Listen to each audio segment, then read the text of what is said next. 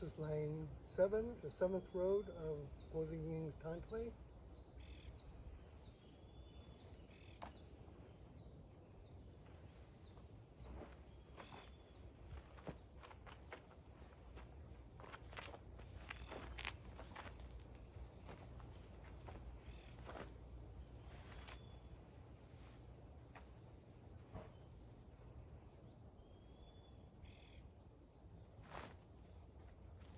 So this road incorporates the falling stance as well. And the unique thing about this line is going to be this, call it the elbow block. Similar to a uh, boxing, boxer's block for guarding the head. And the action goes straight back in a line and then turns into a punch as you step forward. We'll explain that in detail as we go through the line.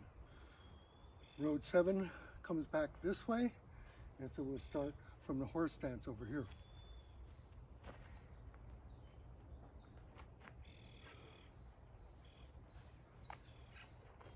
In the bow and arrow stance.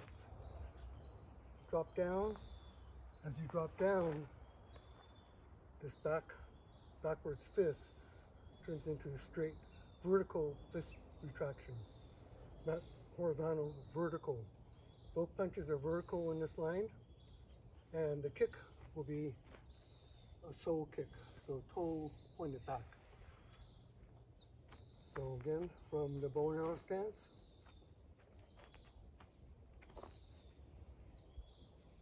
remember to keep the knees in. Gonna drop down, elbow stays in line, arm is horizontal, elbows shoulder shoulder height, okay? Bow and arrow, drop down, turn that vertical, drop down to the falling stance. As you come up into the bow stance, you're going to block by your forehead. Remember to keep your elbow low to guard the frontal area of your ribs and don't have this hand too close to the head so that it won't get hit on the head. It's out in front and it's going to change to the punch as you step forward. Again, from the bow and arrow stance, drop down, elbow block. You're gonna kick with the right leg with a sole kick, and then step forward. So remember in line five, you had that stepping forward, but it was like the opposite side. This time you're gonna step forward into the same side punch. Again, part of the power comes from that step forward. Again from the beginning. In the bow and arrow stance. Drop down, elbow block, sole kick, and then step forward. You're going to find that when you do the sole kick, you won't be able to kick as high uh, because of your flexibility in your hamstrings. So be okay if you do a low sole kick doesn't have to be high, okay? When you're doing a pointed toe, you can always kick a little higher than you can with a sole kick. Sole kick is supposed to come up like that. And again, from the bow and arrow stance, drop down, block. Now again, if you're doing stance work, come up to this block position, hold, and then do your kick, and step forward punch. Okay, do it again. One more time. Up. Bow and arrow stance. Drop down. Walk. Hold that stance. Kick. Step. Again, as we talked in methodology, you can link various moves together to work on different flow. So if you come up to the block, then you can work on the kick and power into the punch. Um, you could also do it where you're coming off the block right into the kick. And then hold that and then go into the step. So don't do it too fast. You want to work on presentation of the stances and embedding those stances and proper positions into your uh, mind. So again, if you start practicing too fast, you're trying to make it look too to uh, flowing, you're going to miss a lot of those stances. Drill that stance into your body like slow motion and then in- gradually increase the speed. So again, from the bow and arrow stance, drop down, come up, lock, pretty straight bow, can be maybe shoulder width apart at the max. Sole kick, and step forward and punch. Now you're going to punch back. Step together. Okay, pick up in the beginning again, so you can see the sequence. Okay, Drop down. Block. Sole kick. Step. And step back. And on the step back, when you come in, you're going to come in through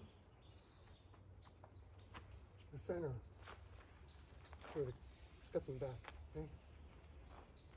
From the bow and arrow, down, elbow block, kick, step, step. Again, feet will be forward, so you're punching to the side. And then you have a drop as you punch. And this drop to the punch is going to be exactly like bow and arrow sweep. So from the punch over here, you're going to come to the back of this fist as you punch.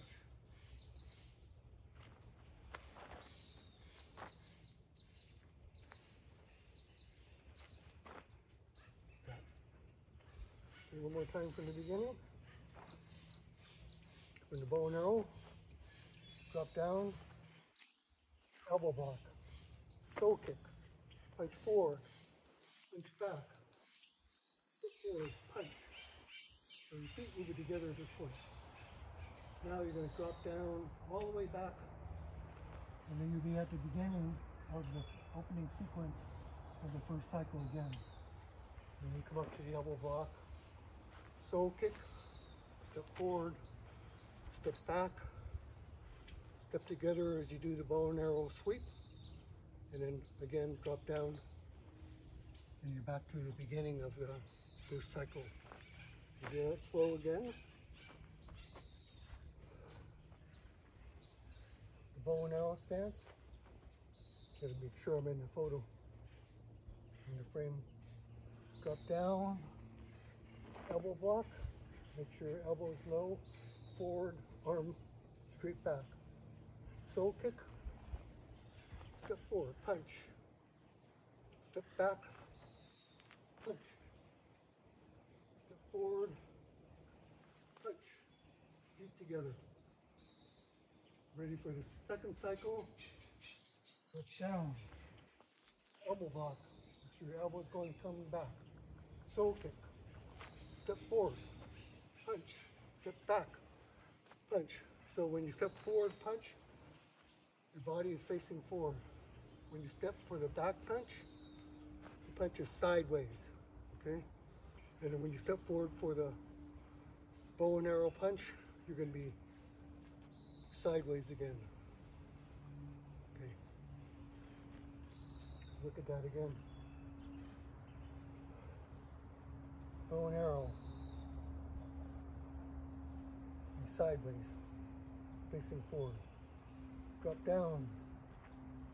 Elbow block, you're facing forward. Sole kick, you're facing forward. Punch, you're facing forward. Now when you go back, you're facing this way and you're side punching to the side. When you do the bow and arrow punch, you're facing to the side, you stay in the side, and then this just rotates again into the vertical fist. Okay, one more time. With the bow and arrow, we're just doing two cycles here. Okay, drop down, block with the elbow, sole kick, step forward, step back, bow and arrow sweep, punch. And then second cycle, drop down, double block, so kick, punch forward, punch to the side, bow and arrow punch to the side. Then you kind of begin again, dropping down, elbow block. Okay? If you finish, when you finish, you're going to be finished facing this way. So if you do two cycles, this is what it'll look like. Okay, drop down, elbow block, kick, step forward, step back, step forward, drop down, elbow block, sole kick, step forward, step back, turn like this. You're ready for line eight? That's if you're doing two cycles.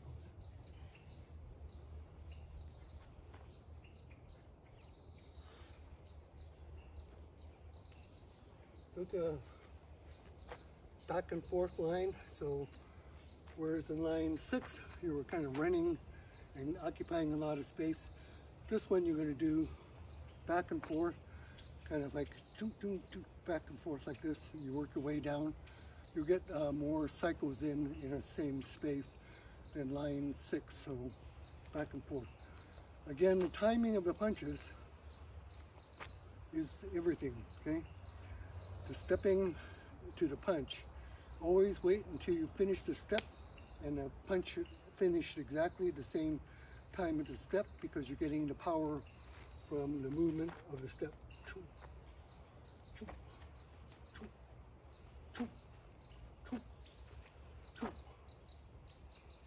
Okay.